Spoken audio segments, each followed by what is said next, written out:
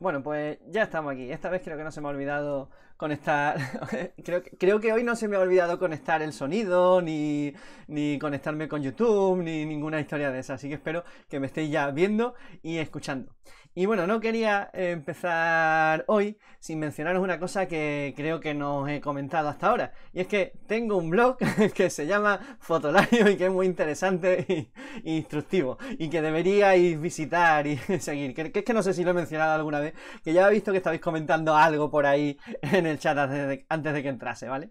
Bueno, eh, em, para los que no me conocéis, como siempre, me presento, aunque creo que ya me conocéis todos. La verdad que eh, po- podría ahorrarme ya casi al en este tramo final la presentación, pero bueno, por si acaso, por si hay alguien que se ha incorporado ahora en el tema de la composición, eh, os diré que mi nombre es Carlos Lario, así me bautizó mi querida madre, pero mm, los amigos me llaman Pirata o Piratalario o Pi para, para cortar.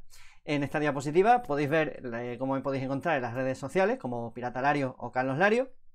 Eh, también eh, veis la dirección de eso que no os he mencionado nunca, que es, que es mi blog y mi web, que estoy a punto de publicar ya renovada, y mi mail de contacto por si, bueno, por si me necesitáis para, para cualquier cosa. Bueno, eh, recordar también que tenemos clase todos los días de fotografía, de iniciación a la fotografía, de una hora y media de duración. Empezamos a las 5 de la tarde. Y bueno, ya estamos en el tramo final realmente, así que eh, aunque no sabía muy bien cuándo iba a terminar eh, todo esto, eh, creo que seguramente viernes o sábado ya tendremos la, última clase en sí de- del curso y después será el, bueno, unos días después, ya anunciaré exactamente cuándo, la charla sobre, sobre composición, más allá de, las reglas, que también quiero ofrecerlas en el directo del canal. Recordad que todos los vídeos se quedan en el canal, que aunque veáis el curso en, diferido, eh, están ahí disponibles para, para quien los quiera, para consultar y demás. Aunque creo que lo interesante es asistir en los directos al chat, porque así enriquecéis las clases y bueno, y me hacéis preguntas y compartimos información, incluso me corregís o, o- aportáis cosas que a lo mejor yo, yo no sé. Y bueno, todo esto lo empecé para intentar que todo el mundo en la Tierra aprendiese fotografía eh, y hacer un poco más llevadera toda esta situación que estamos viviendo. Así que por ello necesito, como siempre, de vuestra ayuda para hacer llegar este curso de iniciación a, a más gente. Eh, para ello necesito pues que hagáis lo que dicen mis hijas, que no sé dónde están. ¿Dónde están mis hijas? ¡Ah! vale, estabais detrás mía escondidas. Sí, yo creo que se lo ha visto un poquito. ¿eh? Tenéis que esconderos mejor la próxima vez. Venga, fuera de aquí. fuera de mi habitación. Adiós. Anda, que petardas son. bueno.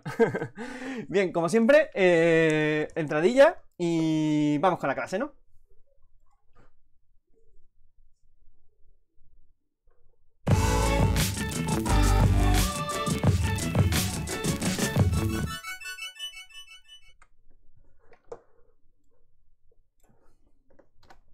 Ya estamos aquí. Cada vez ajusto mejor la, la- la- la entradilla. Dentro de, dentro de nada, y espero que antes de que acabe el curso le haya pillado el rollo a, a todas estas cosas que tengo que manejar para hacer, para hacer los directos. Bueno, a ver qué me ponéis por ahí, porque bueno, como sabéis, este es el momento de hacer preguntas que se hayan quedado en el tintero y yo os comentaré un par de cosas que, que, bueno, que creo necesarias antes de, de empezar la clase. A ver que revise un poquito el chat que me habéis puesto por ahí. Hab- hablabais de que creíais que tenía un blog, sí, os lo, confirmo. Lo que pasa es que no os voy a decir el nombre, porque ya sabéis que se llama Fotolario. ¿Vale? Y bien, no, veo que todavía no hay preguntas, así que bueno, es el momento de hacer preguntas. Mientras tanto, deciros eh, que, bueno, ya me habéis preguntado eh, varios sobre, sobre los libros de, sobre libros de composición, para estudiar composición.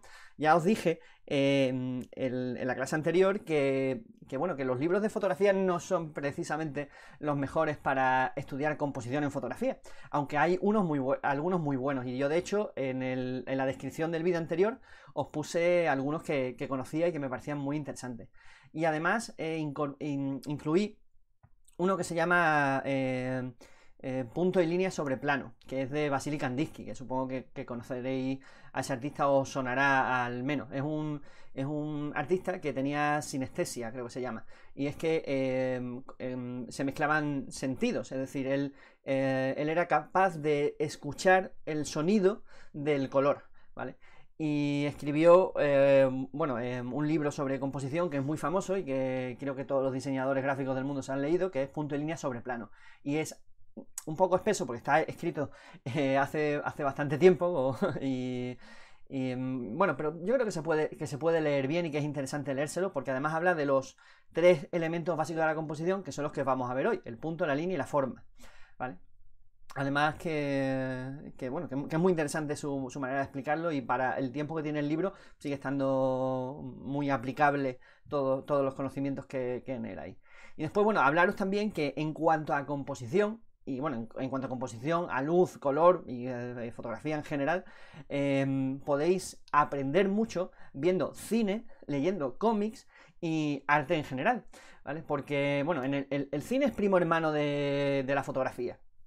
Em, es decir, em, tienen que cuidar los encuadres, la composición, la luz, el color, de igual manera o de casi la misma manera que lo hace, que lo hace la fotografía. Así que hay eh, tanto, bueno, eh, digo cine, pero también digo películas, series y de, bueno, eh, programas de, concurso, eso no mucho, pero cine y series sí. podéis aprender mucho sobre composición sobre ello y viendo viéndolas, ya no solamente como espectadores de una historia que os están contando, sino como fotógrafos, ¿vale? Como estudiantes de, fotografía. De hecho, eh, hablando de estudiantes de fotografía, uno de los libros que, no sé si lo llegué a poner en el enlace en la descripción del vídeo anterior es eh, La visión fotográfica de Eduardo Momeñe, que se lo recomiendo a todo el mundo ese libro, porque eh, te, cambia un poco el chip de, cómo entiendes la, fotografía y te dice un montón de nombres de artistas, de fotógrafos que tienes que cerrar el libro, ir a buscarlos e ir a mirar su trabajo para poder seguir leyendo. Con lo cual eh, aprendes un montón y conoces a un montón de, fotógrafos. Os lo pondré, si no, lo he puesto, os lo, pongo. La visión fotográfica de Eduardo Momeñe. ¿Vale? Bien. Eh, bueno, pues ese, libro es muy interesante. Bueno, y hay, unos cuantos más. Eh, una de las, de, las últimas partes del curso, ya en la, clase final, será. Os, pondré una diapositiva con un montón de autores, de, fotógrafos. Además, os pondré varios reportajes, varias pelis y, varias, y varios libros para seguir aprendiendo más sobre, fotografía, ¿vale? Y bueno, eh, cómics, a mí me parece que soy de la opinión de, lo que decía un, un profesor mío que de, dibujo, que decía que en las viñetas del cómic, cada viñeta es una obra de arte en sí misma, es un cuadro en sí misma. O sea, podríais eh, eh, ampliar una viñeta y perfectamente colgarla en cualquier, en cualquier habitación de vuestra casa, que, sería un cuadro muy, muy, muy adecuado. Eh, bueno, claro, también según qué cómics. Y ahí se puede aprender mucho sobre composición, y sobre narrativa, sobre, porque las, viñetas están ordenadas para contar una historia. Con lo cual, eh, cuando hacemos series de fotografías, no tenemos por qué eh, ceñirnos al orden temporal de las cosas. Eh, tiene que haber una, una, narrativa, algún hilo conductor, alguna cosa que te lleve de una fotografía a otra. Y en cómic se puede aprender mucho sobre eso o los storyboards también de, las películas. Y arte en general, bueno, eso es imprescindible. Si nos gusta la fotografía es porque nos gusta el, aire, el, arte. El aire también, que hace tiempo que no lo respiramos. Me refiero al arte. Eh, porque em, aprendemos de él, porque, lo, porque disfrutamos con ello y la gran mayoría de los pintores clásicos son unas fuentes de inspiración y de aprendizaje muy buenos también para la, para la fotografía. ¿Vale? A ver, eh, me, comentáis por aquí, dice, es un horror, eh, no AG, dice, es un horror ver pelis con ojos de fotógrafo, porque pierdes el hilo de la peli. Por eso hay que ver la peli primero como espectador, ¿vale? Para que te cuenten la historia y después volver a verla ya con más tranquilidad y fijándote en ese tipo de cosas, de luz, color, eh, composición y demás. Así que es verdad que, pierdes un poco la, historia si te empiezas a fijar en esas cosas. Yo de vez en cuando eh, eh, pauso la, película o la serie y le digo, le cuento a mi mujer, mira, fíjate cómo han usado la composición aquí, donde está situado este personaje y por qué han situado la otra aquí, no sé qué. Claro, mi mujer me dice, ¿quieres dejarme de historia y poner la peli? Ya me lo cuentas después cuando termine. bueno, nos ponemos a ver pelis en, en, sofás separados para que no me pegue collejas mientras la estamos viendo. Bueno, Fernando Muñoz dice, la película El hombre que susurraba a los caballos la volví a ver ayer y ya se ve de forma diferente. Qué fotografía, qué paisaje, qué de luces. Sí, sí, sí. De hecho, hay muchas, hay muchas películas que, se merecen desde luego un, revisionado para ya verlas de la manera que os digo. Es decir, a ver cómo utilizan la luz, la composición y el, y el color, ¿vale? La vida secreta de Walter Mitty es una de las que, de las que os recomendé. A mí me, encantó la, la, escena en la que está hablando con un fotógrafo en la peli. ¿Sabes? Es buenísima. Bien, eh, Memorias de África también. Que bueno, mira, pues poned, ahí eh, mientras eh, sigo, si os apetece, poned pelis eh, series, libros o cómics o lo que sea que os hayan gustado especialmente por el uso de, la composición, ya que estamos aquí hablando de, composición. Bien. Y lo, siguiente que quería deciros, uy, que estoy aquí en medio, es que hoy es el Día Mundial de la Tierra. Así que para felicitaros a todos por, eh, por ello y para alegrarnos que, bueno, una de las pocas cosas que, que trae eh, que ha traído toda esta situación que estamos viviendo es que eh, parece que la Tierra se está recuperando un poquito, el aire se está limpiando y demás. Así que, bueno, aquí tenéis esta fotografía, que es un cachito de, mi Tierra con la técnica del Tiny Planet, es decir, como si fuese una, esfera.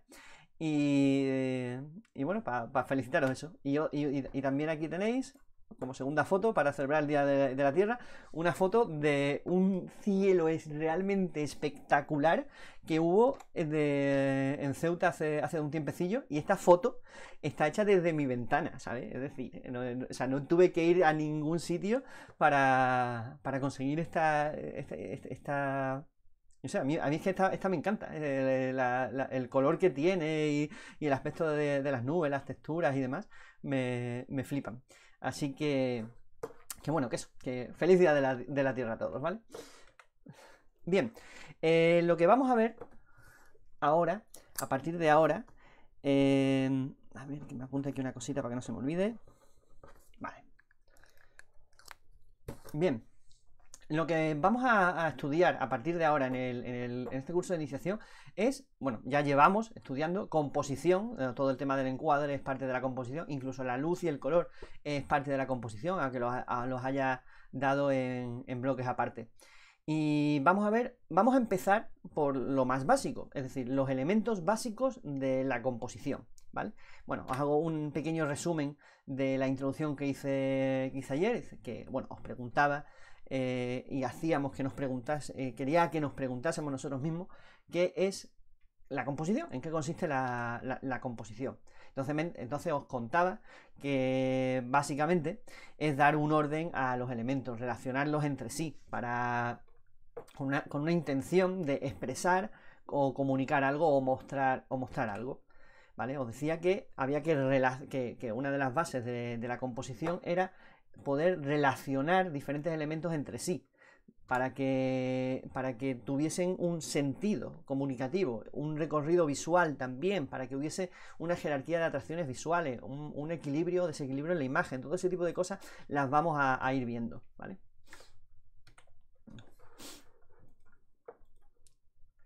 Y os decía también que una buena composición, entre comillas, porque no existe o sea, cada vez que yo diga una composición bien hecha o, mal hecha o, una buena composición o mala composición, ponerlo muy entrecomillado porque seguramente se me habrá escapado. Porque realmente no hay una buena o mala composición, hay composiciones más eficaces o menos eficaces a la hora de transmitir, de contar y demostrar lo que queremos transmitir, contar y mostrar. ¿Vale? Entonces, normalmente una buena composición entrecomillada o una composición eficaz hace que el, mensaje se transmita mejor y en muchas ocasiones lo embellece, entendiendo por belleza, eh, o sea, belleza en el sentido más amplio de la palabra, porque hay muchas maneras de, entender, de entender la belleza, ¿vale? Y también decía que era parecido a la música, el tema de la composición, porque una sola nota tocada, aunque sea un virtuoso el que toque el, instrumento, eh, no nos dice nada. Suena muy bien, ¿vale? Pero no, no nos dice nada. Una serie de notas eh, tocadas de manera virtuosa o de manera armónica, eh, sí que nos transmiten algo, sí que nos cuentan algo, ¿vale? Decía por ahí alguien que, un virtuoso de, la música con tres notas podría crear perfectamente una, armonía. Sí, pero esas tres notas habría que repetirlas mucho, ¿no? Sería una de, de los recursos compositivos que vamos a ver, que es la repetición y el ritmo. Pero bueno, yo creo que en, en composición en fotografía también tocando dos, tres notas, eh, es decir, eh, utilizando bien eh, o, eficazmente dos, tres, cuatro elementos, podemos crear composiciones muy, muy efectivas, ¿vale? Entonces hay que conocer las herramientas de las que disponemos y, y en base a ello, pues, construir nuestra fotografía. Las fotografías normalmente no simplemente mm, eh, se encuentran, ¿sabes? Te encuentras la escena ya preparada, haces la foto y te largas, sino que necesita de, un trabajo normalmente, Bueno, y que eh, también recordaros que durante toda la historia de, la humanidad se ha estudiado de una manera u otra la composición, sobre todo cuando hablábamos de arte. Y de hecho, la composición se estudia durante toda la vida del, artista. O sea, la, técnica básica ya la sabéis. Ya todos los que habéis visto todos los vídeos anteriores y habéis practicado y tal, ya sabéis la técnica básica de, fotografía. Ya podéis hacer, hacer eh, casi cualquier fotografía. Lo que os falta es tener las herramientas de composición, expresión, narrativa visual que os faltan para conseguir transmitir de la manera que queráis. Cuanto más sepáis de composición, cuanto más aprendáis sobre ella, más eh, eficaces seréis a la hora de componer vuestra, vuestra fotografía, más herramientas tendréis para hacer exactamente lo que, lo que queréis hacer. Por eso es tan importante el seguir siempre, siempre aprendiendo. Yo, aunque, aunque sea yo aquí el que se supone que os está enseñando fotografía, yo aprendo de vosotros y sigo estudiando y aprendiendo eh, fotografía y composición concretamente. Y de hecho me, encanta, ¿no? Es lo, más divertido, aprender, descubrir cosas nuevas, evolucionar, notar cómo vas mejorando gracias a, la, composición. Y de hecho esa es otra cosa en la que insisto. Yo he cambiado de, cámara de foto un par de, un par de veces, ¿no? Desde que le estoy pegando fuerte a la, a la fotografía. Y estoy seguro de que no notáis cuando está hecha una foto mía con la cámara anterior o con la cámara que tengo actualmente. Es solamente una herramienta. O sea, porque mi cámara actual sea mejor, entre comillas, que la que tenía anteriormente, no quiere decir que mis fotos hayan mejorado. A lo mejor ha mejorado la calidad del píxel, a lo mejor tengo eh, ciertas funciones que mi cámara anterior no tenía. Pero si notáis una mejoría en mi, manera de hacer fotos, eh, será porque he aprendido cosas nuevas, seguramente sobre composición, luz y color, que sobre, que sobre el manejo de la cámara. ¿Vale? Bien. Eh, a ver. También eh, deciros que los elementos mm, básicos de la composición son el punto, la línea y la forma, la luz, el color y la textura, de los cuales ya hemos visto la luz y el color, aunque sea básicamente, la escala y dimensión, la dirección y el movimiento. Son los elementos básicos de la composición. Escala y dimensión y, de, la dirección y el movimiento eh, los vamos a ver de, pasada prácticamente, ¿vale? Porque es quizás un poquito más avanzado en en el tema de, la, composición, aunque concretamente dirección y movimiento sí que lo veremos cuando hablamos del punto, la línea y la forma, ¿vale? Porque tanto el punto, la línea como la forma tienen una dirección, un movimiento y unas connotaciones que, vamos a, aprender, ¿vale? Eh, como siempre, bueno, recordaros que eh, cuando queráis eh, hacer preguntas, ¿vale? Que yo soy muy despistado y me pierdo las conversaciones del chat mientras estoy haciendo las explicaciones cuando queráis hacer una pregunta, poned pregunta en, mayúscula, ¿vale? Dos puntos y ya la pregunta, la pregunta que sea. Bueno, en mayúscula o minúscula, da igual. El caso es que si es en mayúscula lo veo más fácilmente. Pero bueno, pregunta dos puntos y la, pregunta que sea. Así no me pierdo nada de lo que, de lo que me contáis, ¿vale? Bueno, vamos a ver. Veo que habéis puesto ahí unas cuantas películas que creo que las conozco todas. Memorias de África, Mil veces buenas noches. Los puentes de Madison, bueno, cualquiera de Stanley Kubrick, dice Joaquín, pues sí. vale. Eh, Eduard, que me cambia la ventana. Vale, sí, necesito renovar el marco. Mientras la tía no sea de madera, sino de aluminio, me vale. Río Salvaje, esa, creo que no, no, recuerdo si la he visto, creo que no. La del Río Salvaje no. Em, eh, la del Río Salvaje me recuerda a una que vi, que vi hace poco de Leonardo DiCaprio, era el, el protagonista que era de Revenant, el Renacido. Muy buena también la fotografía. Nos dice que la fotografía de Néstor Almendro, asturiano. Por cierto, Belly Lawrence de Arabia y 2001 de en el espacio, estoy de acuerdo. Ya no nos diga, la, chica de la perla, la historia del pintor holandés, Birme, sí. Qué, qué, buena. Además, eh, ¿cómo se llama la actriz que hacía...? No, no, no, me sale el nombre de la actriz, pero vamos, es conocida. La mayor sinfonía de Beethoven comienza y repite cuatro notas. JJ eh, Pollard, eh, pues sí, claro, pero las repite una y otra vez. O sea, son, armónicas, ¿vale? Y las, y las va repitiendo una, una, y otra vez. Es un recurso compositivo del que veremos, precisamente, la repetición y el ritmo. Néstor Almendro dice que nació en Barcelona, no es asturiano. Ah, vale, muy bien. Eh, Rodríguez, alucinante la luz, el encuadre y el color de la película. El director quiso usar la luz de Bimer en la peli, sí. De hecho, hay eh, por otro lado, varios, eh, eh, varios fotógrafos que han intentado imitar cuadros famosos de la pintura con, la, fotografía.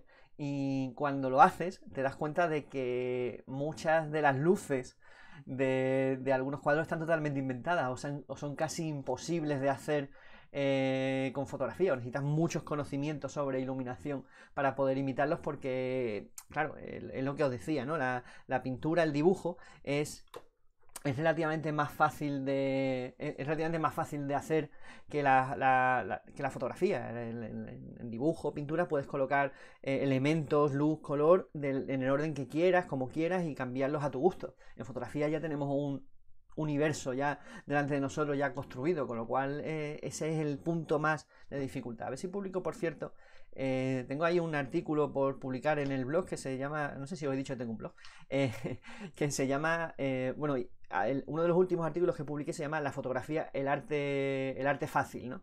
Y tengo otro que se llama Fotografía, el arte más difícil, que es como una contraposición del artículo anterior. A ver si le voy a dar un repasito y a ver si lo publico mañana o bueno, en, estos días.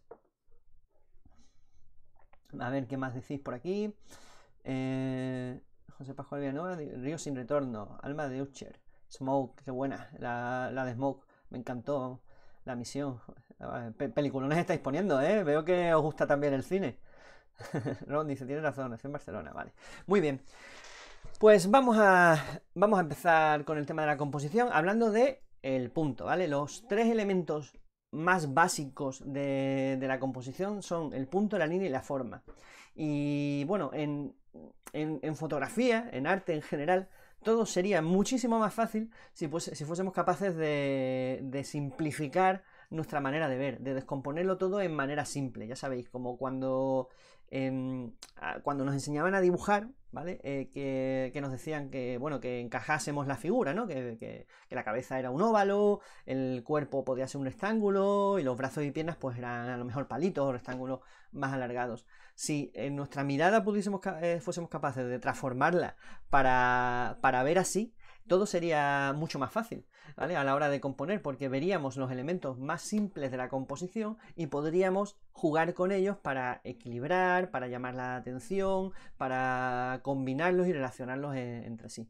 Pero bueno, eh, todo esto que, que voy a explicar a partir de ahora es algo que en cierta manera conocemos, en cierta manera ya lo sabemos. Lo que pasa es que no somos conscientes de ello.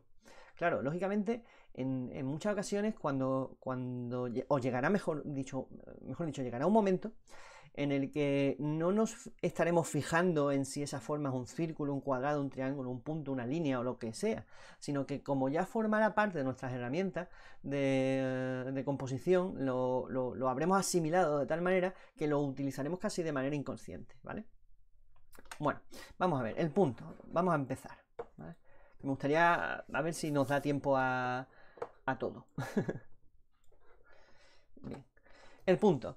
El punto es la unidad más simple de todas, el elemento más simple de todos, pero también tiene muchísimo poder. De hecho, es el elemento de la composición, el, elemento básico de la composición que más poder de atracción visual tiene, ¿vale? Más que cualquier línea o cualquier, o cualquier forma. Y de hecho se utiliza eh, se utiliza mucho como, anclaje visual, como una llamada de atención a, una zona determinada o como punto de entrada a una fotografía, precisamente. Y bueno, eh, tiene una peculiaridad en cuanto a su peso visual, que es que en realidad sirve, para equilibrar casi cualquier eh, composición, casi cualquier elemento. ¿Vale? Vamos a verlo. Fijaros en esta fotografía de aquí, ¿vale?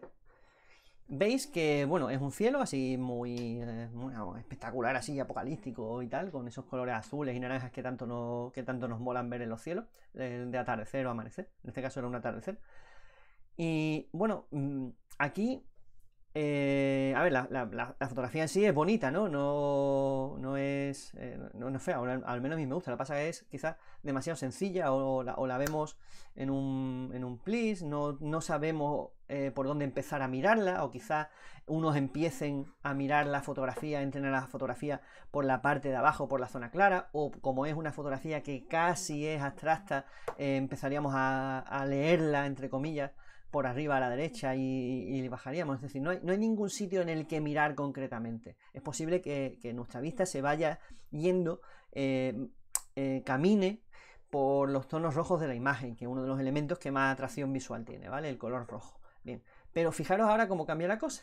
Al añadir un punto, cuando hablo de cuando hablo de puntos, en, composición, en fotografía, en arte, en lo que sea, no me refiero al típico punto redondo, circular que podríamos hacer con un lápiz o con un boli, ¿no? O con un rotulador. No, el, punto en, la, en, las artes gráficas se refiere a un elemento de muy pequeño tamaño en nuestro encuadre, ¿vale? Y con una forma eh, regular, irregular o, o, la que sea, pero que ocupa muy poco eh, espacio en nuestro encuadre y que está relativamente aislado del resto de, los elementos y que llama mucho nuestra atención, ¿vale? Bien. Otro ejemplo, esta, fotografía de, otro cielo espectacular. De nuevo pongo como ejemplo de que un punto no tiene por qué ser un elemento simplemente circular, sino un elemento que ocupe poco espacio en nuestro encuadre. Joaquín Lloren pregunta que si tres puntos haciendo un triángulo sería más potente que un punto. No, sería eh, diferente. Eh, normalmente siempre uno de los puntos a lo mejor llama más la atención, que es el punto por el que entras a verlo.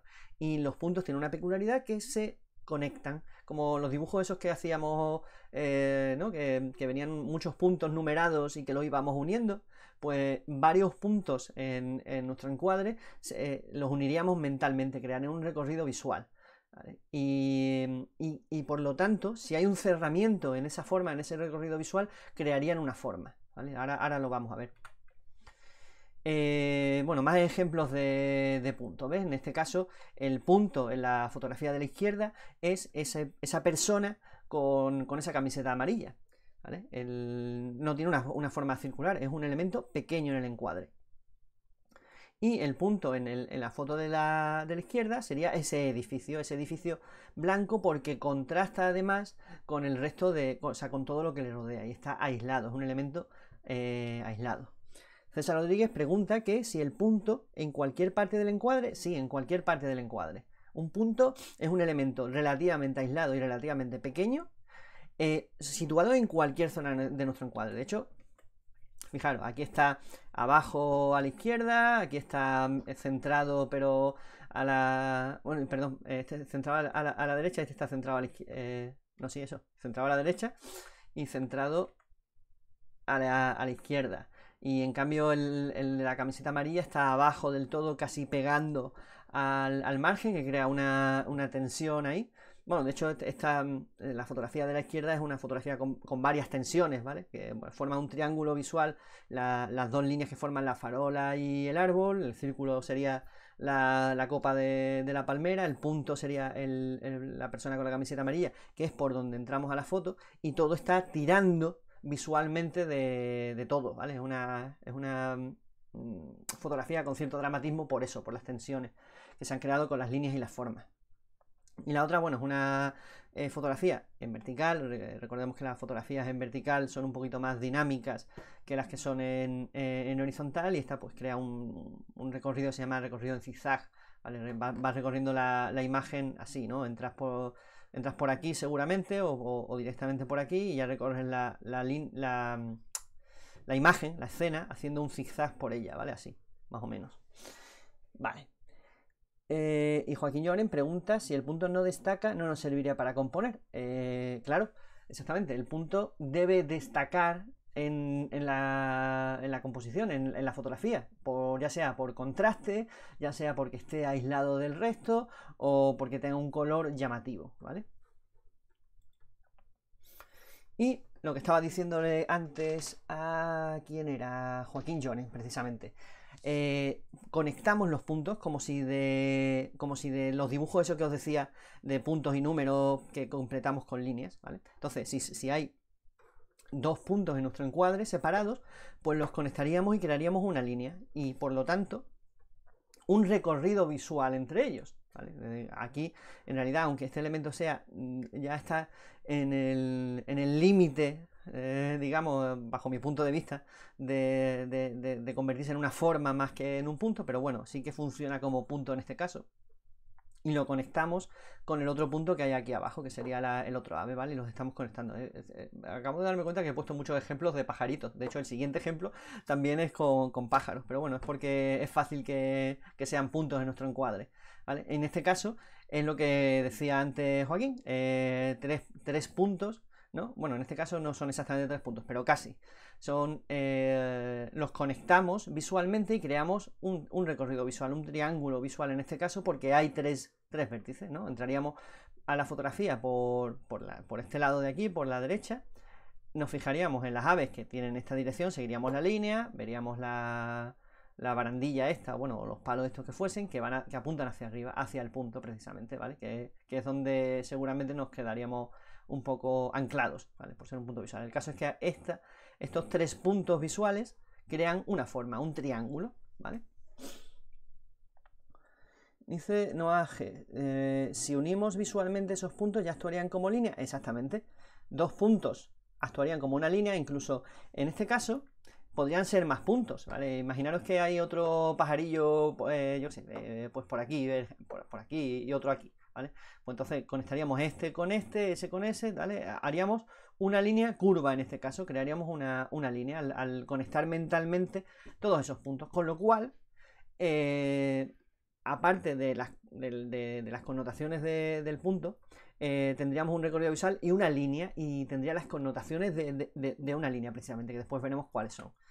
Y en este caso, los puntos forman, una, forman varias líneas, es decir, eh, forman una línea, otra y otra, un triángulo, varias líneas que se unen cerrándose eh, forman un contorno, es decir, una forma, ¿vale? En este caso, un triángulo. Y Francisco Silanes pregunta que si el punto debe estar siempre nítido o podría funcionar si algo está movido. Sí, puede funcionar como algo, algo movido perfectamente. De hecho, eh, ¿os acordáis la foto una de las fotos que os enseñé ayer de una chica oriental que estaba en el palacio de, Carlos IV eh, haciéndose un selfie, yo le hice la foto y os lo puse de ejemplo de, enmarcado, ¿vale? Os puse una fotografía en la que tenía eh, columnas a los dos lados y estaba cerrado el, enmarcado y otra en la que solamente tenía columnas a un lado y con lo cual estaba abierto ese enmarcado. Bueno, pues eh, también os, señalé, mirad, es que aquí hay al fondo, en la, parte del fondo de la fotografía, hay un punto azul, que es un tío con una camiseta azul. Y también hay un punto rojo, que es alguien con una camiseta roja. Bien, pues eh, tanto el punto azul como el punto rojo en realidad estaban, eh, estaban difusos, estaban desenfocados porque no había suficiente, suficiente profundidad de campo para mantenerlos ambos nítidos, con lo cual eran puntos por su color y, por, su tamaño llamaban mucho la atención y distraían, en mi opinión. Por eso me agaché para que la barandilla, o sea, la parte del murito del sitio en el que estaba, tapase a esos dos puntos, para que no distrajesen de lo que yo quería que, se mirase. Bien. Y Olvido pregunta que el punto es lo que queremos destacar en la foto. Bueno, no siempre eh, es lo que queremos destacar en la foto el, punto vale para más cosas, ¿vale? Por ejemplo, para equilibrar. voy a buscaros una foto que explique mejor lo, de, lo del ancla visual. Em, a ver dónde la tengo. voy, a, abrir Lightroom y así os lo enseño.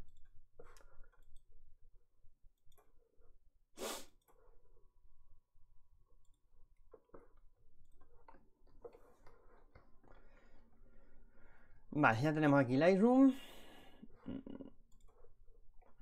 Y vamos a... no quiere arrancar Lightroom.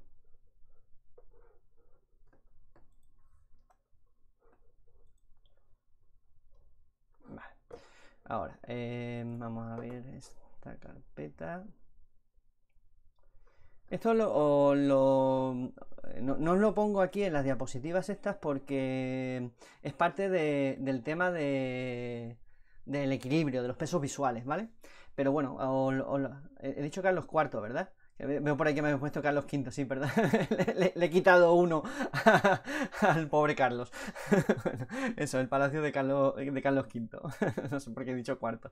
bueno, eh, el caso es que el, aquí en esta, en esta fotografía que veis aquí, eh, hay eh, una forma, ¿no? Que es rectangular, que es la torre, la torre esa con su, con su eh, tejado, que es un triángulo, ¿vale? Es una forma grande y pesada. Que, cuando hablemos de, los pesos visuales os explicaré el tema de...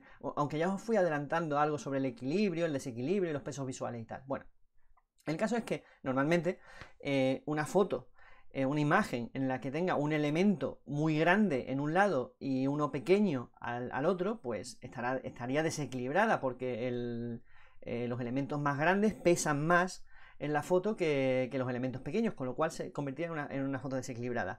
Pero el punto no solamente actúa como llamada de, atención, también es un, bueno, eh, no solamente una, una, llamada de atención o un anclaje visual en el que te queda eh, atrapado, digamos, en la, mirada del espectador, sino también como un anclaje del peso, como un equilibrador de, formas, eh, como si eh, el punto fuese un clavo que hemos clavado ahí en la, en la, fotografía, ¿sabes? Es decir, si, yo elimino, mirad, vamos voy a, voy a ver, lo, lo vaya a ver muy fácilmente si edito la fotografía. Bien, voy a clonar a estos dos de aquí. Esto es un punto, ¿vale? Si yo ahora clono. Bien. Vale, ya, está clonado. Bueno, lo clona burdamente. Se puede, hacer, se puede hacer bastante mejor, pero es que lo veáis. Ahora mismo, esta foto está bastante desequilibrada. Hay mucho más peso en la zona izquierda de la foto que en la zona derecha, ¿vale? Pero si yo ahora cojo y eh, añado un punto, ese punto ha equilibrado ya la forma, ya, la figura, sale ya la, fotografía, perdón. Eh, a pesar de que es un elemento tan pequeño, el eh, es un punto, con lo cual es como si clavásemos un clavo en la fotografía y ahora ya no, no, puede, el peso de la, de, la, parte izquierda no puede tirar de, la fotografía, está como, como, anclada, está equilibrada simplemente por, por haber incluido un punto en la, en la escena. No sé si si, lo entendéis. ¿Veis, la, ¿Veis la diferencia? Es decir, con un punto, o sea, sin el punto es una foto desequilibrada totalmente, hay mucho más peso eh, visual en la, parte izquierda, y en cuanto añadimos un punto, se equilibra totalmente la fotografía. Hemos anclado la foto para que no se caiga eh, para, un lado o, para otro, ¿vale? Bueno, quito ya esta clonación asquerosa que he hecho. que cutre, ¿vale? Creo que se entiende, ¿no? Entonces, eh, claro, es lo que os decía, por lo tanto, el punto no es solamente para destacar algo, sino también para equilibrar, ¿vale? Bien, eh, dice José Valero, dice, en este caso, al generar un triángulo hay tensión, exactamente. De hecho, el triángulo es un elemento que crea tensiones, ¿vale? Porque son tres líneas en direcciones contrarias, ¿vale? Y se, crea, y se crean ahí unas tensiones. Bien, Joaquín Llore pregunta que si eh, un punto junto a un sujeto principal no molestaría al sujeto. Pues sí, lo molestaría. De hecho, eh, no siempre. Si el sujeto principal es suficientemente tiene mucha más atracción visual que el punto, por lo que sea, por su color, por su forma, porque es una persona, por yo sé, por, el tamaño quizás incluso, el punto puede pasar puede llegar a pasar desapercibido. Pero si es un punto que tiene cierta atracción visual por su color, su forma, su aislamiento o lo que sea, puede llegar a distraer mucho del sujeto principal si, no, es, si no es el, el propio punto el sujeto principal, ¿vale? Carlos pregunta que el punto es la referencia para entrar en la composición. En muchas ocasiones sí, no siempre, ¿vale? Porque en este caso, por ejemplo, en esta fotografía que estamos viendo en pantalla, eh, en realidad entramos por la derecha de la imagen, en este grupito que hay varios puntos, varios puntos unidos en este caso, ¿vale? Hay una, de las leyes de la gestal es que varias cosas juntas forman un todo. Y esto, aunque sean varios puntos, eh, forman, forman un solo elemento, ¿vale? Eh, el caso es que entraríamos por aquí, porque llama más la atención eh, este grupo de puntos que este aislado. Y entonces entraríamos por aquí, por la derecha de la fotografía y seguiríamos las líneas, hasta que llegaríamos al punto que es el anclaje. ¿Vale? Bien. Uy, aquí me voy. Vale. Dice Paco R, buena foto, recuerda las películas Liz. Gracias. Eh, a ver. Bien, eh, vale, pregunta, pregunta de olvido, dice, ¿cuántos puntos puede haber en una fotografía? Todos los que quieras, todos los que quieras. Lo que pasa que, eh, eh, al igual que os digo que, un punto aislado llama la atención, muchos puntos en una fotografía puede ser que creen una forma o un, o un conjunto de ellas. Por ejemplo, os he puesto el ejemplo de este grupo de aves de aquí, en realidad ¿vale? Eh, no, son, no los vemos como un punto aislado, sino como varios puntos unidos. Ya lo veremos en, la charla, veremos las leyes de la gestal hablan precisamente de, este tema. Y no hay un límite de puntos, o sea, es eh, según la separación que haya entre ellos, eh, puede ser que son, sean, se, lean como puntos aislados o como un solo elemento al estar, al estar agrupados, ¿vale? Bien. Eh, Iván Arribas pregunta que, pero ese desequilibrio no quiere decir siempre que la foto esté mal, ¿no? Depende de lo que quieres mostrar o expresar. Sí, claro, exactamente, Iván. Eh, de hecho, me suena haberlo repetido en, varias ocasiones, que eh, en general, ¿no? En, muchas ocasiones queremos una foto equilibrada, ¿vale? Para que, pese lo mismo un lado que otro de la fotografía. Pero también en muchas otras ocasiones queremos una foto desequilibrada. Por ejemplo, las fotos que, en las que queremos expresar dinamismo, Normalmente vamos a querer que esté desequilibrada para crear ese, ese, movimiento, ese movimiento visual al, no haber ese equilibrio. Las, fotos equilibradas normalmente tienen son hasta cierto punto estáticas. Y, otra, y, otra razón por la que queremos fotos desequilibradas es para crear inquietud. O sea, no todas las fotos que, hacemos tienen que ser eh, relajantes, armoniosas, eh, equilibradas, ¿sabes? Estáticas, ¿no? O sea, eh, hay veces que queremos crear miedo o inquietud, o poner nervioso al espectador, o, que se, haga pregunta y se extrañe de por qué, hemos hecho eso así, ¿sabes? Hay, hay, siempre, siempre, siempre. Pero, a, ver, esto es. la única cosa inamovible es que todo es movible. ¿Vale? o sea, la, única cosa inamovible es que no hay nada inamovible. Y es que eh, todos, absolutamente todos los recursos compositivos se pueden, se pueden em, utilizar al menos como mínimo en dos sentidos. Es decir, eh, ya, ya, os hablaré de la ley de la mirada, por ejemplo. Pues la ley de la mirada dice que debemos dejar más espacio hacia donde está mirando el sujeto. Pero veremos que el dejar menos espacio hacia donde está mirando el sujeto no está mal hecho, sino que crea otras sensaciones en el espectador de nuestra fotografía. Y, con todo, y, eso mismo con absolutamente todo, ¿eh? Yo digo, nunca deis nada, nada por sentado. Probadlo vosotros mismos y veréis que cada, cada, cada vez que os han dicho esta cosa en fotografía tienes que hacerla así porque si no está mal hecho, pues mentira, ¿sabes? No hay nada mal, totalmente bien hecho, ni totalmente mal hecho, ni en fotografía, ni en ninguna disciplina artística, ¿vale? Hay diferentes usos para absolutamente todo. A ver, Jules Briner pregunta, eh, bueno, siempre digo Jules Briner, pero no sé si es Jules Brine de Julio o, o Jules, porque sea un nombre eh, que no conozco. ¿Vale? Eh, bueno, pregunta que al ser pequeño el punto nos crea más atención porque queremos descubrir, identificar qué es. El sujeto mayor se ve enseguida eh, lo que es, pero el punto nos lleva a querer saber qué, qué, es.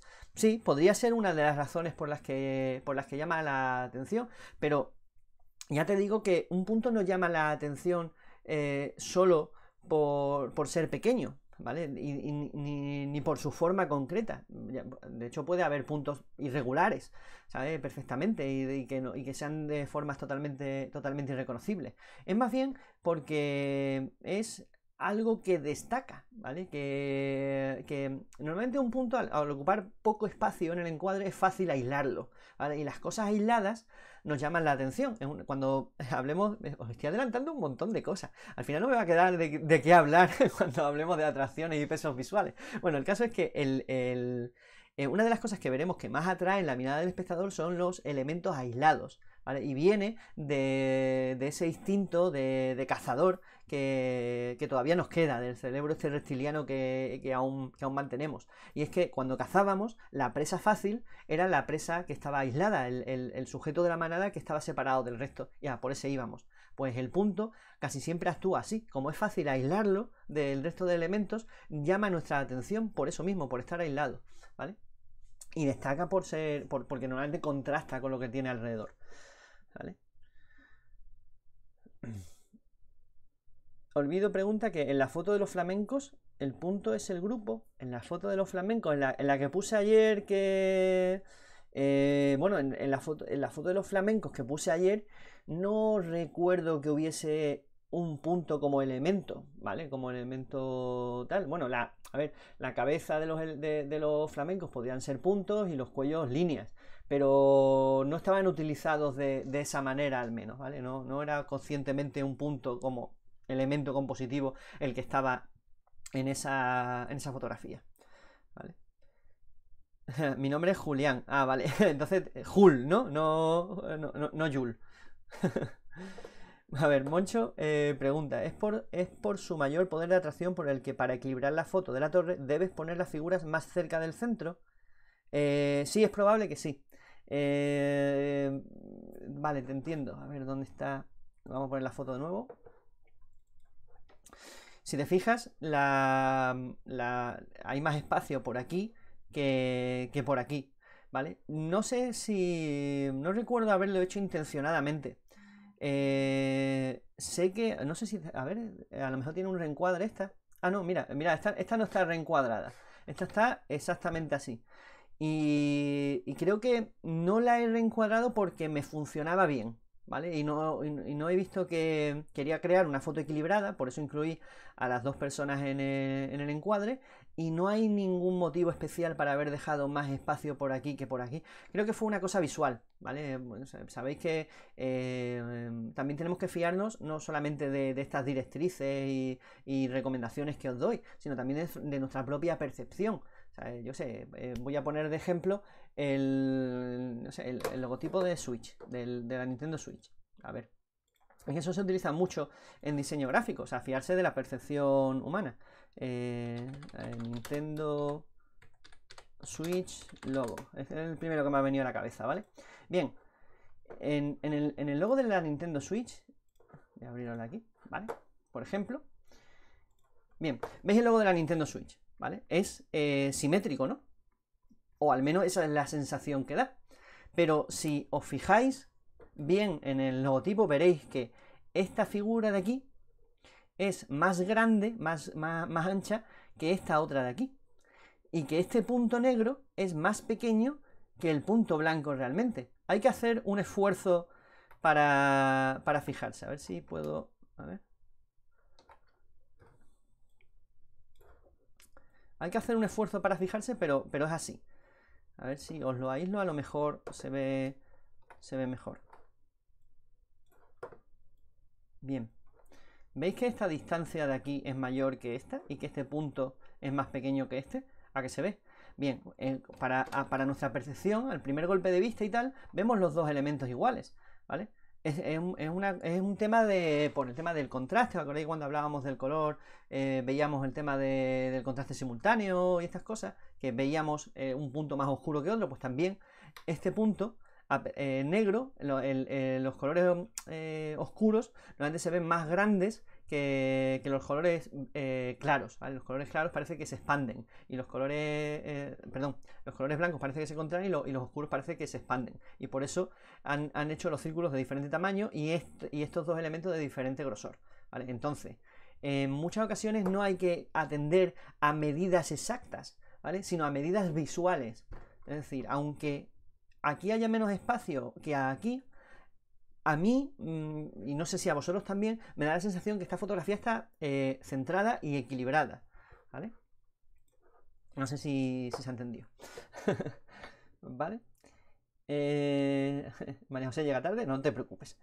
ya te, pongo un punto negativo. ¿Qué mano tienes? Perpendicular, perfecta. bueno, es que en el. Yo tengo en el visor de, de mi cámara, tengo una cuadrícula. Tengo esta cuadrícula, a ver, eh, os la voy a poner también. Hay visores en las que podemos poner eh, diferentes, cuadrículas, ¿no? En Lightroom, por ejemplo, podemos cambiar eh, a todas estas, ¿veis? Vale, pues yo la que tengo, que no la tiene Lightroom, es una que es... Bueno, creí que, estaba en Lightroom, pero no, es, es una que está dividido el encuadre en cuatro partes verticales, en cuatro partes horizontales y después tengo las diagonales. Y las utilizo de, guía para equilibrar la, foto y todas estas cosas, ¿vale? no, estaba seguro de si esa foto era un reencuadre. También tengo, fijaros, lo, que os decía el otro día, de que yo siempre hago versiones en horizontal y en vertical de la misma foto. ¿Veis? Aquí la, aquí la tengo eh, en, horizontal. Pero no me funciona tan bien la, la, horizontal, ese equilibrio de formas y tal, como en la, en la vertical, ¿verdad? No sé qué opináis. Bien. Elisa, Elisa puntualiza que el punto blanco está más alto. Y en el logo como si no estuviese bien colocado con una cuadrícula, exactamente. funciona mucho mejor la vertical. Sí, yo también opino que, la vertical funciona mejor y es la que suelo utilizar. Bien, seguimos. Que ya son las 6 menos 10, sí, no, yo creo que nos va a dar tiempo a todo. A ver si, si conseguimos llegar a, a la forma genial, si no, no pasa nada.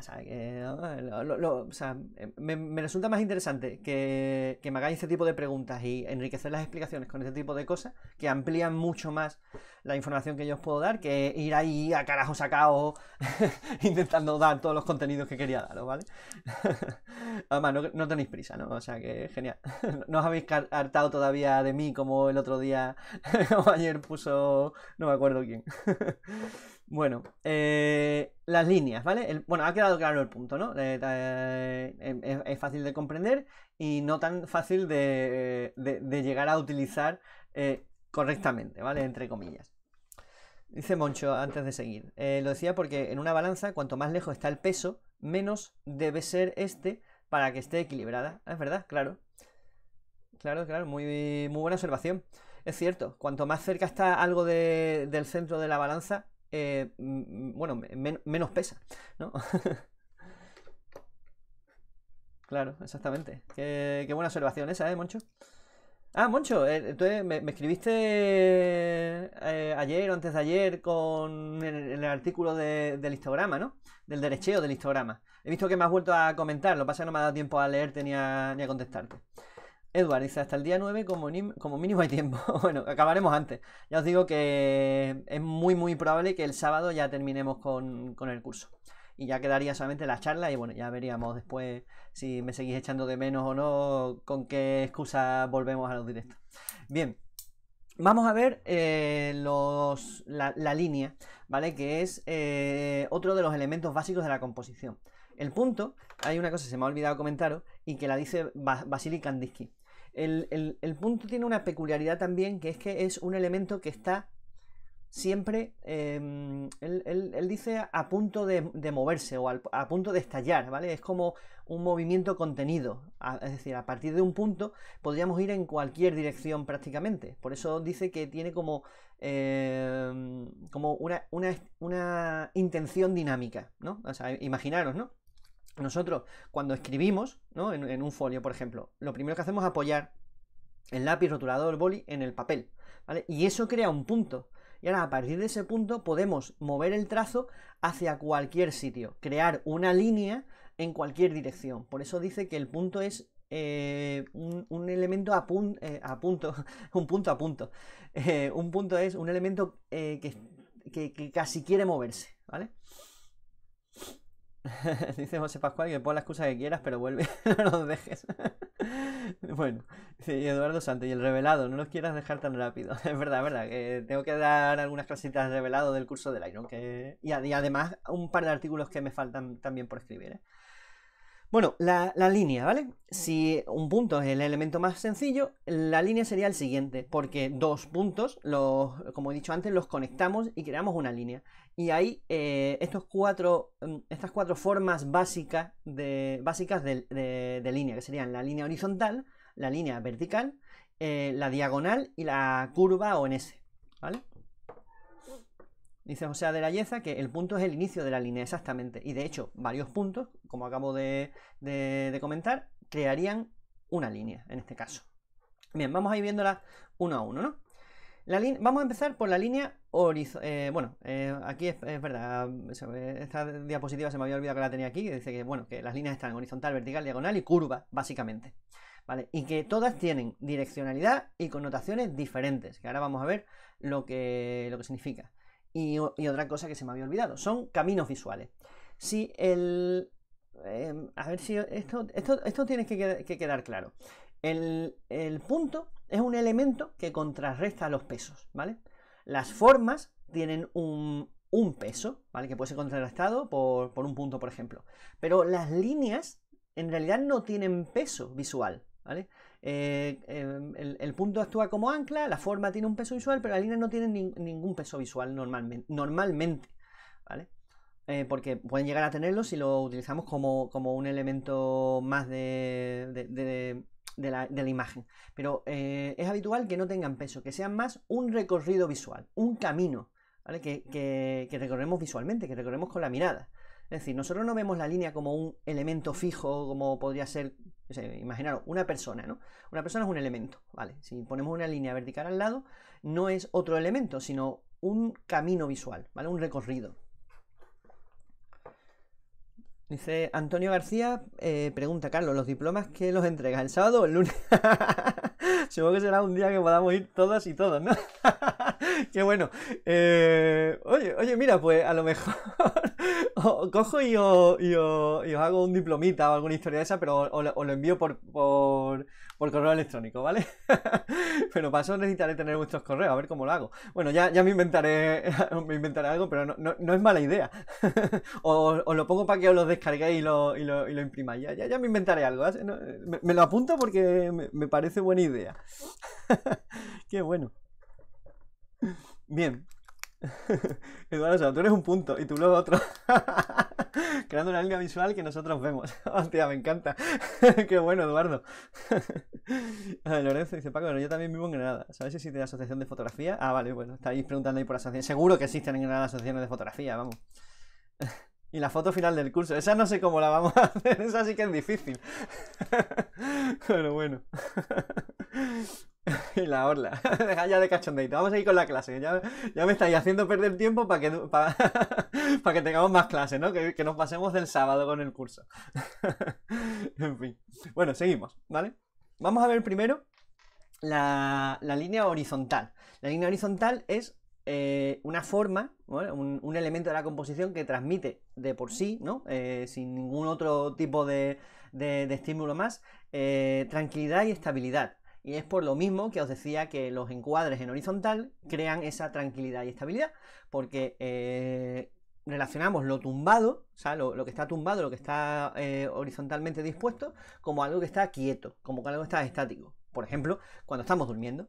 bueno, algunos de nosotros se mueven mucho cuando duermen y estas cosas, se caen de la cama y, y películas varias de esas. Pero en general, algo tumbado está quieto, está estático. Vamos, del suelo no pasa, ¿no? Aunque, aunque de la cama sí.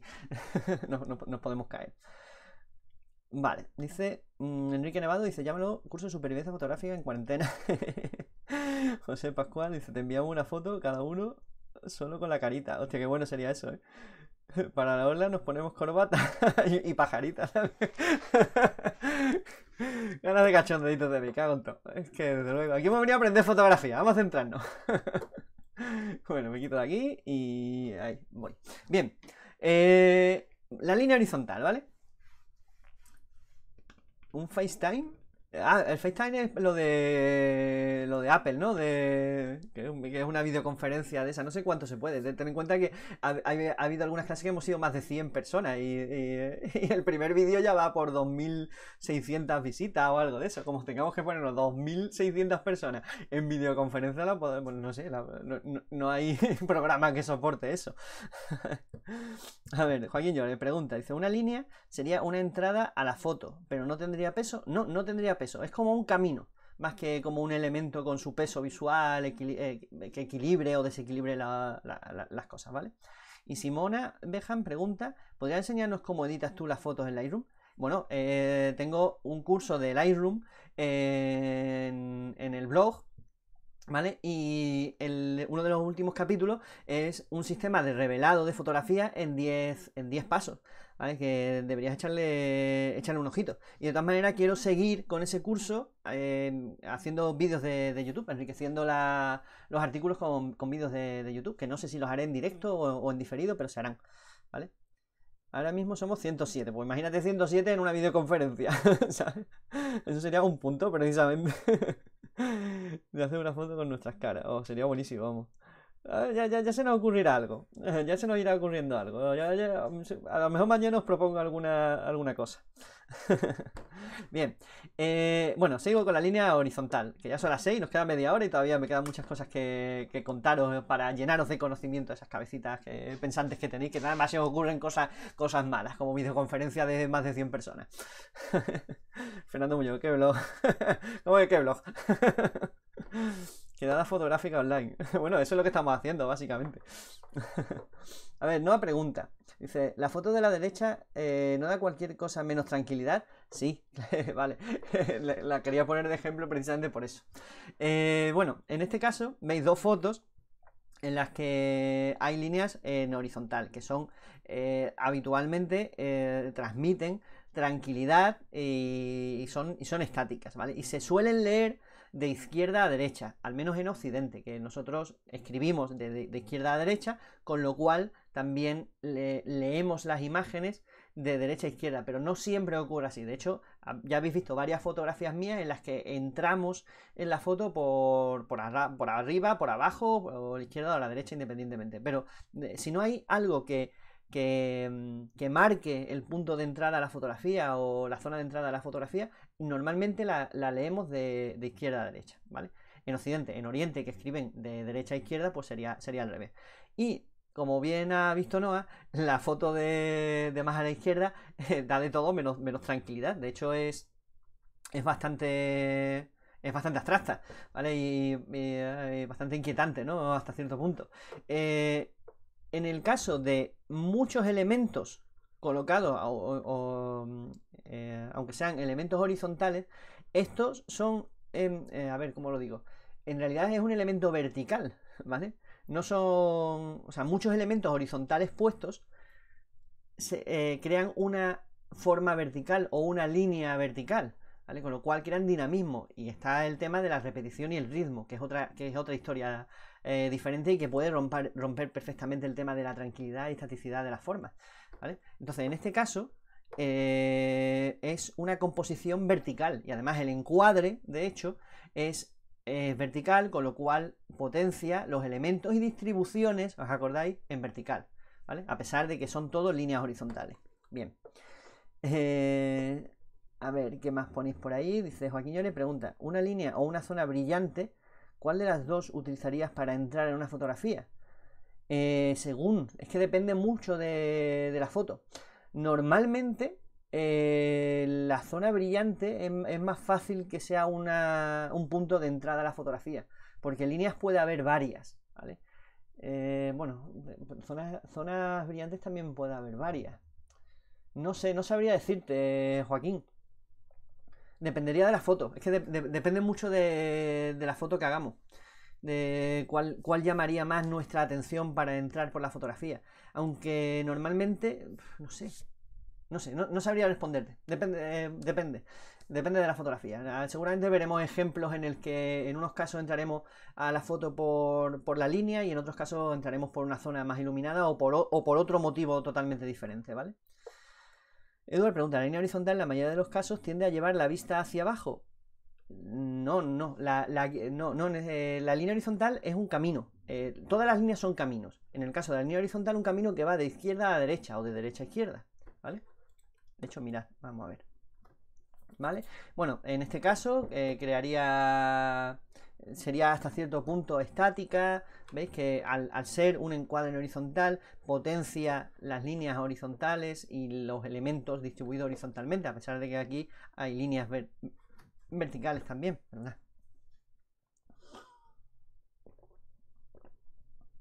Oh. vale. Como estaba diciendo, ¿no? Eh, potencian eh, elementos y distribuciones en, horizontal. Este ejemplo es el que os puse, de hecho, cuando estábamos el primero que os puse cuando estábamos hablando del encuadre vertical y el encuadre horizontal. Y Edward ah, puntualiza que también es una especie de corte del plano, sí, de hecho eh, divide las líneas, si, recorren toda la foto entera, dividen eh, la fotografía en zonas.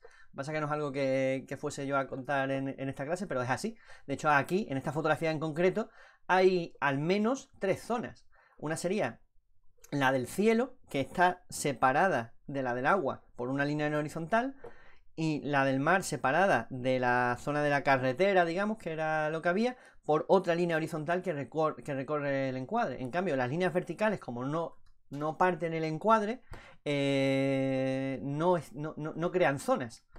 Las, zonas están creadas aquí por, líneas horizontales, exactamente. Esa es una, una, puntualización muy buena, pero no iba a explicar en este caso.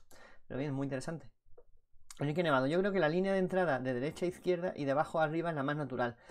Eh, no siempre. Ya sabéis, ya os conté que en las fotografías entramos desde, desde abajo hacia arriba normalmente. En las fotografías que son eh, imitadoras de la realidad. En las fotografías abstractas ya cambia la, cambia la cosa.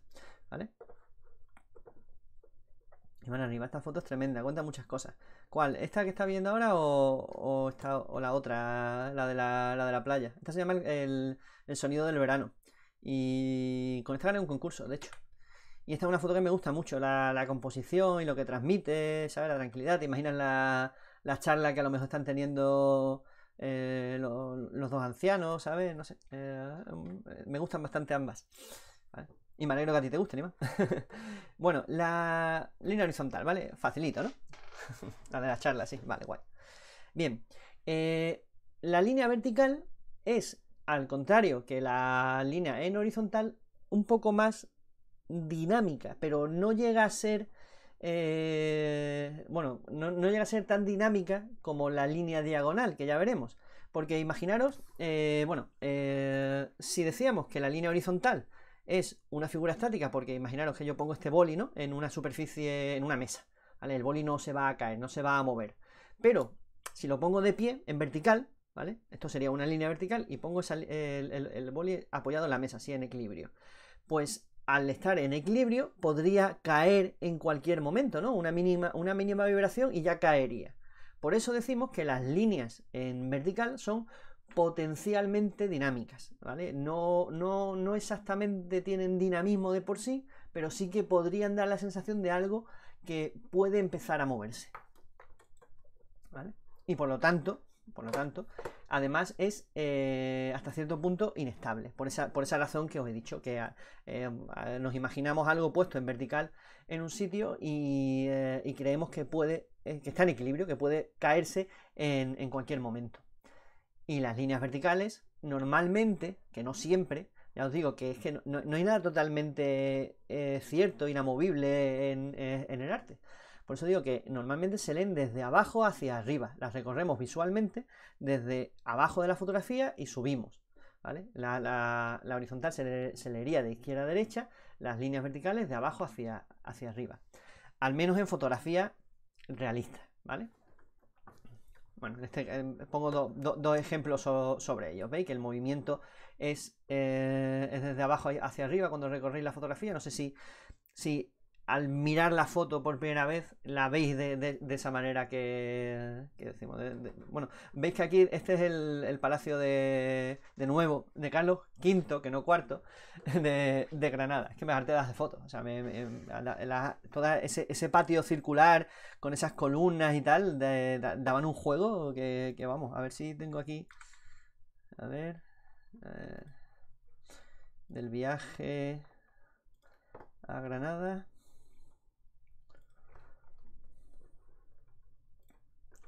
Vamos a poner solo las reveladas. Mira, es que eh, hice un montón.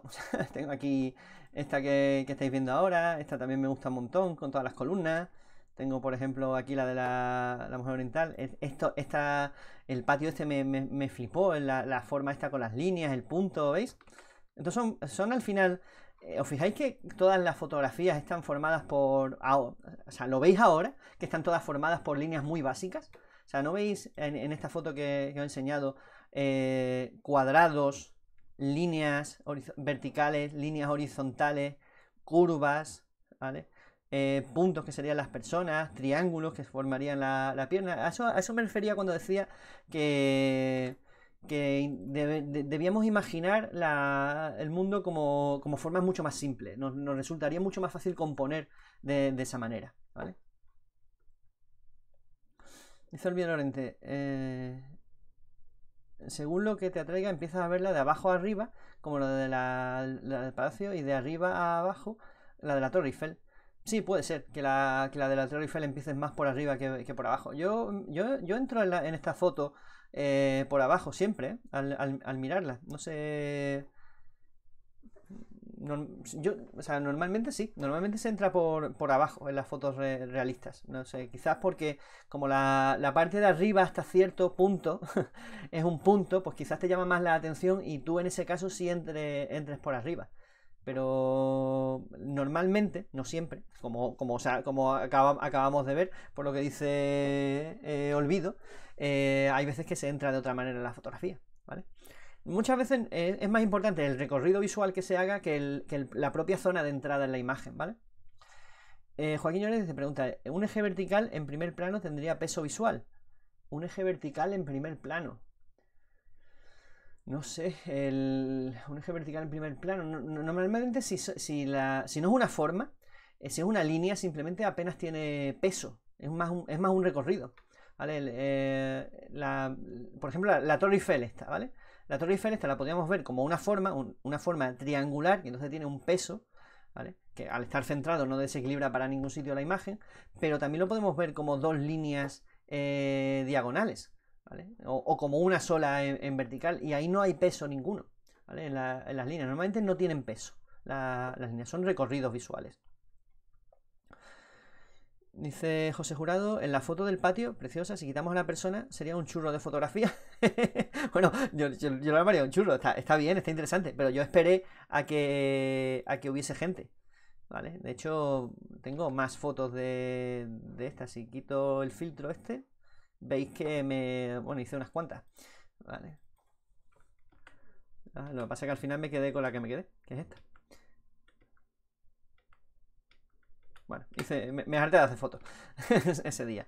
Y bueno, tendría.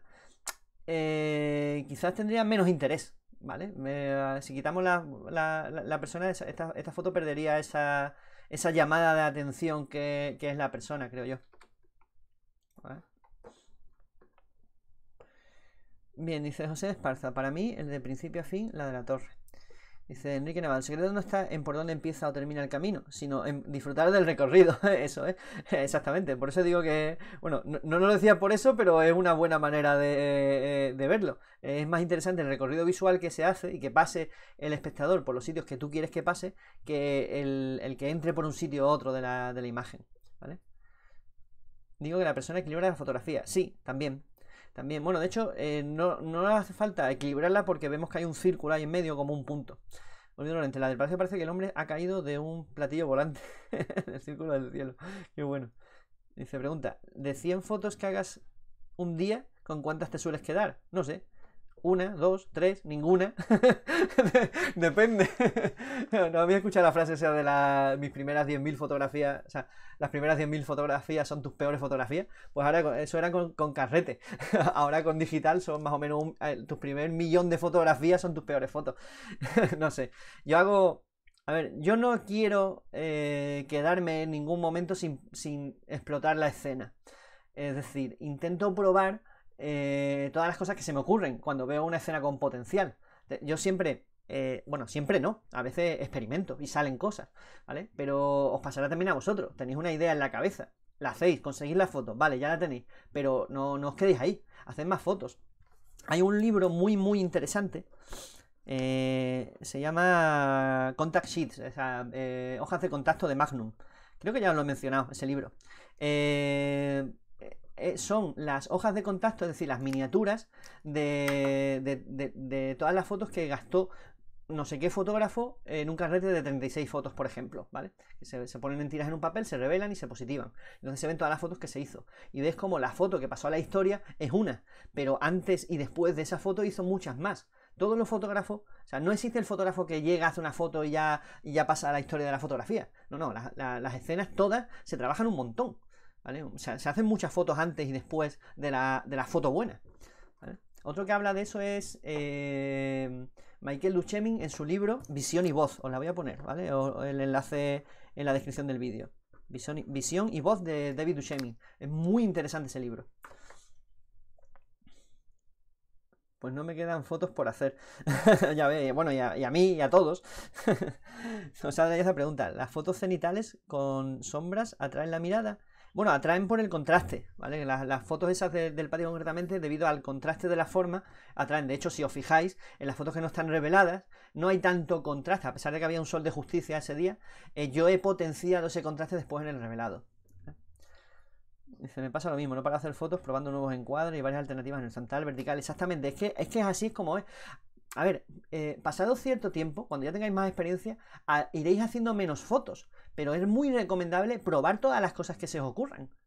Quizás la foto buena no es la que se te había ocurrido al principio, sino otra que has desarrollado después al, seguir haciendo, haciendo fotos, ¿vale? Bien. Bueno, eh, transmiten las líneas verticales colocadas eh, sucesivamente, le pasa algo parecido a cuando hemos visto la foto con las líneas horizontales eh, colocadas sucesivamente. las líneas horizontales colocadas sucesivamente se convierten en una, línea, en una línea vertical y las líneas verticales crean una sensación de repetición, de, dinamismo y de ritmo, ¿vale? Como una música, pim, pim, como un, un golpe, como un golpeteo continuo, ¿vale? Dice excepto Cartier-Bresson. Cartier-Bresson también hacía muchas fotos antes y después de, la foto buena, ¿eh? Que él, que además se, dice de Cartier-Bresson, que no sé si era cierto o no, yo creo que sí, que no reencuadraba nunca. Es decir, eh, para conseguir la foto buena sin reencuadrar es que has hecho muchas fotos antes y después. ¿Vale?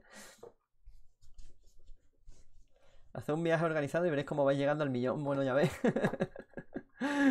Digo, en los viajes, yo, me, yo me traigo las tarjetas llenísimas, que te cagas de, de, fotos de todo tipo. Después voy, voy quitando y enseño las que más me gustan. Pero te digo que si hago 100 fotos, bueno, 100 fotos, 100 fotos en un día, 100 fotos las hago en, en 10 minutos.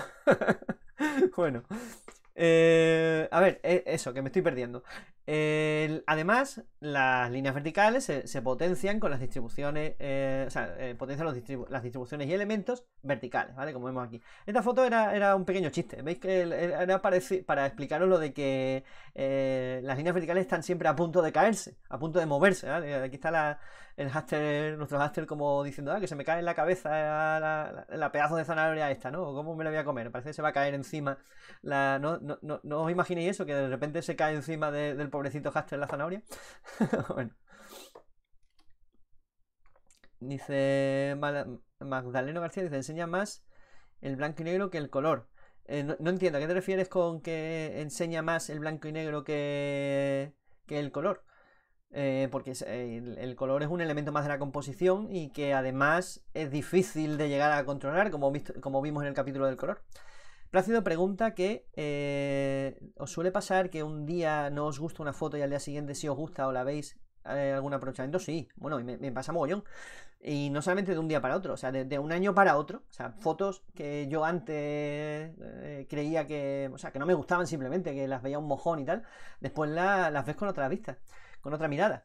Y es porque nuestra manera de mirar cambia cambia con nuestra experiencia, con nuestro aprendizaje, con nuestro desarrollo y, vemos fotos donde antes no las veíamos. O a lo mejor simplemente cambiamos el revelado de una fotografía y, ya nos parece una foto fantástica. Eso es muy, muy habitual que pase. O sea, de hecho, recomiendo de vez en cuando revisar nuestro archivo fotográfico porque podemos encontrar algunas joyitas que nos habían pasado desapercibidos. ¿vale? Cómo cambia nuestro estado, ¿no, amigo? Y, bueno, esa es otra el, revelado, eh, procurad revelar vuestras fotografías eh, cuando estáis contentos, porque como estéis enfadados o, tristes, se va a transmitir al revelado que le hacéis a la fotografía. ¿eh? Bien, la línea diagonal. Otra de, las líneas de las que.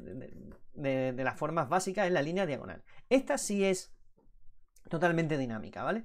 Y se, suele leer desde fuera de la fotografía hacia adentro, ¿vale? Es decir, por ejemplo, esta foto con las tres palmeras estas, no empezamos a mirarla desde la copa de la palmera hacia afuera, sino que las empezamos, si, bueno, si están pegadas a los bordes, lógicamente, empezamos desde fuera de, la fotografía hacia adentro, ¿vale? Nos llevan de...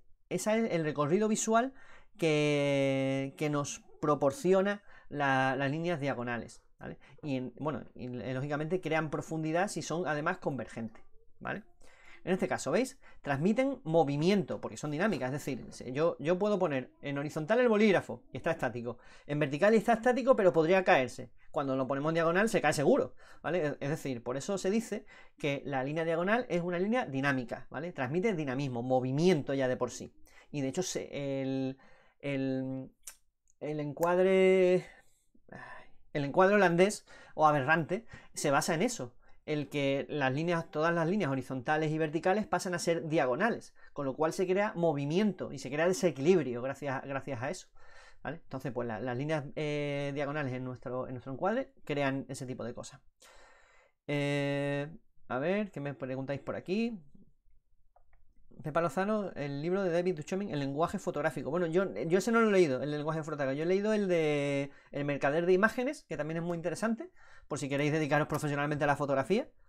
Voy a, apuntarlo. Mercader de imágenes y el de visión y voz. Eh, visión y voz, que me, pareció súper interesante.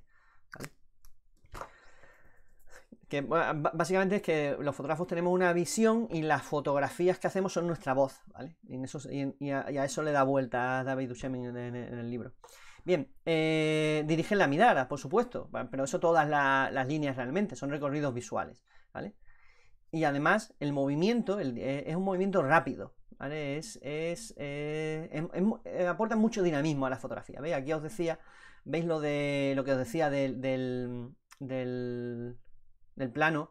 Eh, o encuadre aberrante o, holandés, que al, inclinar, o sea, si yo dejo totalmente vertical la, foto del guitarrista, no crearía tanto dinamismo como al inclinar el encuadre, como hacer, al hacer el encuadre este holandés, ya que convierto todas las líneas en, eh, de verticales pasan a ser todas diagonales, y crean ese movimiento, movimiento rápido además. Y este zigzag, bueno, esto es la repetición y el ritmo de nuevo de, las líneas diagonales. como veis pasa lo mismo que con las verticales y con las horizontales, que al estar repetidas en nuestro encuadre crean una sensación totalmente diferente a la inicial. Y bueno, y si están convergentes, como es el caso de, estas que no están en zigzag y repetidas, sino que convergen hacia un sitio, crean profundidad en la fotografía. ¿Vale? Eh, Eduardo Sanz, ¿cómo te gustó Lisboa? No lo sabes tú bien, me flipó. Eh, creo que ya os lo he comentado. Me gustó muchísimo, me pareció preciosa. Eh, Magdaleno García dice, pregunta, si el blanco y negro resalta una realidad diferente que el color. Sí, sí, eso sí, ahora sí te he entendido. Vale. Claro, el, el, blanco y negro pierdes la información o distracción en muchas ocasiones que te da el color y entonces te fijas en otras cosas. Normalmente las fotografías en blanco y negro potencian las formas y, las luces y los contrastes. Bueno, de hecho, por, eso que la mayoría de las fotos que os he puesto para hablaros de las líneas son, son en blanco y negro, para que os fijaseis en las formas. ¿Vale? Más que, que, no, que no hubiese la distracción del color. Aunque bueno, os meto también algunas en, en color. ¿Vale? Yo, en realidad hago indistintamente fotografías en blanco y negro en color, me gusta ambas. Lo que pasa es que cuando las dejo en color es porque el color sé que funciona o me gusta cómo funciona. Ya, visteis que era una cosita complicada de, llegar a, controlar y yo desde luego no lo controlo del todo, pero lo intento. me gusta mucho inclinar la foto, no ve que indicaba movimiento, pero sí que transmite vida. Vida, movimiento, ¿sabes? Dinamismo. Dice, hola, no puedo verte en vivo y te acabo de encontrar. Muy buenos los vídeos y gracias. César, gracias a ti, hombre, por pasarte. Pregunta, ¿en la foto del guitarrista, si se inclina al revés, crea más tensión? Eh, ¿Crea más tensión? Bueno, no, no, eh, sería lo mismo para un lado que para otro. Eh, lo que pasa es que si la inclinaba para otro lado no me, gustaba cómo quedaba la guitarra, porque se quedaba en horizontal. ¿Sabes? A ver si... No sé si la podría encontrar rápido. La foto, a ver, en sesiones creo que es. En sesiones no. En eventos. Y era el certamen de bandas. No, ¿esto dónde era? El concierto Caballa Rock. Este, el Caballa Rock, sí. Vale, bueno, mira, aquí está esta que no está con el revelado definitivo que le hice, pero fijaros, si yo la recorto, ¿vale? ¿Veis que aquí está inclinada. Si yo la, la inclino hacia el otro lado, ¿vale? Que no puedo porque ya no da más de sí la foto, ¿veis? Si la inclino hacia el otro lado, la guitarra se me quedaba en horizontal. Entonces creaba una línea estática. Y no quería eso, yo quería crear eh, dinamismo, con lo cual, por eso la incliné de esa manera, ¿vale? Para que todo fuese en líneas diagonales. Creo que se entiende ahora, ¿no? Bien, comentaste que siempre las haces en color y luego las revelas en blanco y negro. Sí, así es. Siempre, siempre eh, disparo en color y después las revelo en, en blanco y negro. Quiero tener las dos posibilidades. ¿Por qué me voy a quedar con una sola, no? Aunque bueno, ya sabéis que en RAW no hay, problema con eso. Bien, nos quedan 6 minutos para terminar justito de hablar de, la línea curva. Porque ya después llegaríamos a las formas, que es con lo que empezaríamos la clase de, mañana. Bueno, es facilito, ¿vale? Lo de, lo de las líneas. Creo que, que se entiende todo perfectamente. Y ahora os he hecho así la, la, cabeza y ya sabéis cómo podéis utilizar las líneas de vuestro encuadre. Y teniendo muy en cuenta, muy en la cabeza, que son sobre todo recorridos visuales. ¿vale? No elementos de por sí. Bien, con su peso y todo, y todo eso. Bien, la línea curva. La línea curva, eh, ya sea eh, curva en S o en espiral, crean dirección, eh, un camino visual, subrayado y cerramiento. Vale. Son además mm, dinámicas, ¿vale? Pero es un dinamismo diferente al de la línea diagonal. La línea diagonal es un movimiento rápido, ¿no? Es, es eh, imaginaos, mm, a ver, la línea diagonal es un movimiento rápido y la línea curva es un movimiento sinuoso, más tranquilo quizás. Lo podríamos comparar como, por ejemplo, que la línea diagonal fuese una carretera, ¿no? En línea recta y la línea curva fuese un sendero por el bosque. ¿Vale? Se recorren de, diferentes maneras. Bueno, no sé que vayas en moto, de esas de campo o algo de eso, pero normalmente eh, eh, cuando recorres un camino recto, puedes ir más rápido, ¿no? Que un camino sinuoso por, el campo. Pues así es como se recorren visualmente las líneas diagonales y, y las curvas. Y esa transmisión de movimiento, de dinamismo es el que tienen. Eh, y además son más habitualmente naturales de encontrar en la naturaleza, ¿vale? Normalmente en la naturaleza hay muy pocas líneas rectas, ¿vale? Excepto en algunas, algunos minerales, rocas y cosas de estas que sí tienen líneas rectas. A, primera vista, ¿no? A, vista de humano, el mundo natural está hecho con, líneas curvas. Nosotros los humanos somos, los que hemos eh, introducido la línea recta, diagonal, vertical y horizontal en, por ejemplo, nuestras ciudades, lo de los edificios, ¿vale? Y por supuesto aportan también profundidad. ¿eh? Veis, por ejemplo, eh, yo sé, eh, imaginaros, por ejemplo, esta de aquí, veis esta línea en S. ¿No os imagináis recorriendo el, caminito que han hecho los niños por el campo, así como medio jugando y tal? ¿No, es un movimiento más tranquilo y divertido, quizá, que, el de la línea diagonal? Bueno, y además, las líneas diagonales, perdón, las líneas curvas son más eh, femeninas, precisamente, que, las líneas diagonales. Las líneas curvas eh, están relacionadas con la naturaleza y la feminidad, y la línea recta con la masculinidad y lo abrupto o lo artificial. Ah, vale, y esto la, os la ponía aquí porque también puede dar sensación de protección, de escudo. Si la línea curva está rodeando un elemento, es como si lo protegiese, como si lo encerrase. Creo que lo vaya a entender mejor en la siguiente fotografía. Ah, no, no, os he puesto la siguiente fotografía. Me, ha faltado una. Bueno, os, la, enseño aquí, ya está. A ver, en sesiones. Es la de. De mamadisa. Esta es la fotografía en la que, quería enseñaros con respecto a la línea curva como sensación de, de protección, ¿vale? Eh, imaginaros, no sé, el, huevo, por ejemplo, es curvo, rodea algo que tiene dentro, el escudo es curvo, protege a, lo, que, lo, que, está dentro, pues la línea curva le pasa lo mismo si, funciona como, cerramiento, ¿vale? De la, de la figura. Y bueno, ya son y 28. Ahora empezaríamos con el tema de la forma, ¿vale? De si un punto, o sea, varios puntos crean una línea, varias líneas crean una forma. Y aquí nos vamos a quedar porque quedan dos minutitos para y media y hoy hemos llegado justito, justito, así que voy a atender a las preguntas que me hagáis. Si os queda alguna en el tintero, no os preocupéis que, que mañana me las hacéis perfectamente, ¿vale? Así que, a ver qué me preguntáis por ahí. Dice... Pepa López dice, yo entiendo más cosas del libro a partir de tus explicaciones. ¿De qué libro? ah, de, ah, del que me has comentado antes de, David Ushemin, ¿no?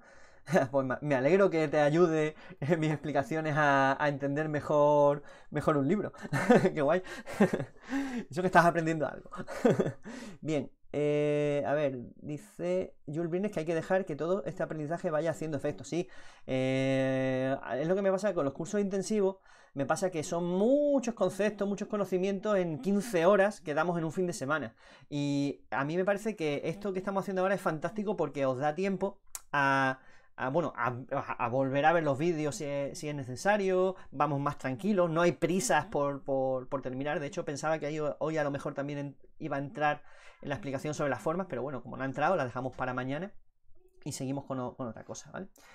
Eh, eh, José eh, de la Yeza pregunta que si tienes alguna foto de, línea curva la escalera del edificio Trujillo. Bueno, claro que sí. de hecho, no, es una de las que he puesto. Ah, no, era. La, que he puesto de, la, de, línea curva es la de. La de.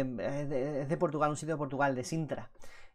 ahora mismo os enseño una del edificio Trujillo, que además un, un sitio de mi ciudad que es chulísimo. Porque dentro tiene una escalera en espiral que es espectacular. A ver, ¿por dónde la tengo?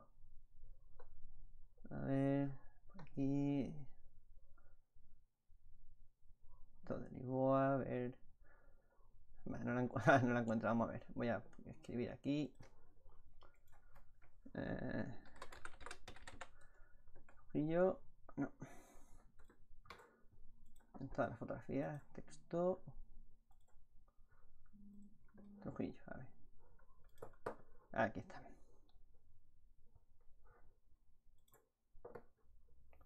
Ah, pero esa no es. Bueno. Aquí está. Esta sí. Esta es la, una de, las fotos que tengo de la escalera del edificio Trujillo, que es espectacular, es precioso. Tiene una cúpula ahí con unos grabados y tal, chulísimos. Bien. Eh, a ver, ¿alguna pregunta más que tenéis por ahí? Café, sí. ¿Cómo, ¿Cómo, le gustan las curvas a, cómo me gustan a mí las curvas? Pues sí, me encantan. Bien. No hay ninguna pregunta más. Dice Juan Andrés. Ah, vale, que está ahí hablando de. Después me lo leo, lo, que está aportando Juan Andrés sobre Henry Cartier-Bresson. Bueno, tengo también un artículo sobre el momento decisivo, ¿vale? Que os lo pondré en la descripción del vídeo porque creo que es muy interesante. Y creo que vaya a entender eso que decía de que hay que hacer muchas fotos y no quedarse solo con la, con, la primera fotografía. Dice Enrique Nevado que la escena del sendero es la que suelo sacar habitualmente cuando salimos de excursión. Ah, qué bueno. Siempre queda atrás sacando fotos. estas no son películas, son documentales, pero no los perdáis. Ah, estupendo. Vale. Eh, nos va a poner aquí varias. Qué bien. Muchas gracias. Eh, Juan Andrés, muchas gracias. Bien. Bueno, pues vamos terminando ya, ¿no? Bueno, como siempre, os tengo que, recordar y que todos los días, excepto los domingos, aunque ya creo que esta semana terminamos, terminaremos el sábado, me da esa sensación al menos, eh, que todos estos vídeos se, se, quedan en el canal para que los consultéis cuando, cuando os dé la gana Que si os han quedado preguntas en el tintero, que no os preocupéis, que mañana ah, en la primera parte de, la clase me las hacéis y, las vamos resolviendo. Que intentéis estar en los directos porque yo creo que lo interesante aquí es estar interactuando con, el chat y viendo vuestras preguntas y vuestras explicaciones y vuestras aportaciones además a lo que, a lo que, vamos, a lo que vamos viendo.